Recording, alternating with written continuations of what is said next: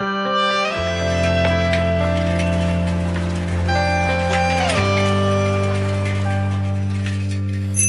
单车的少年停在旧报摊翻找杂志上说星座相配那段那天他故意把手表拨慢送女孩回家的路上绕了弯他们的后来跟很多故事一样从人海熙攘。走到天各一方，藏起同样的伤，看不同的夕阳，在遗憾里慢慢被自己原谅。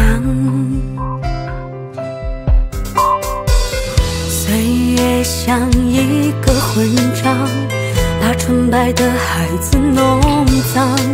当初想去却还没去的远方，只能在酒里被一口喝光。在他和陌生的人同床，和枕边的人说谎，和最爱的人老死不相来往。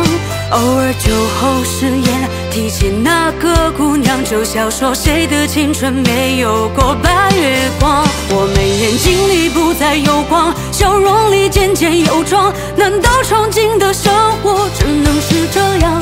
相信爱情的信仰被世俗埋葬，让从前没。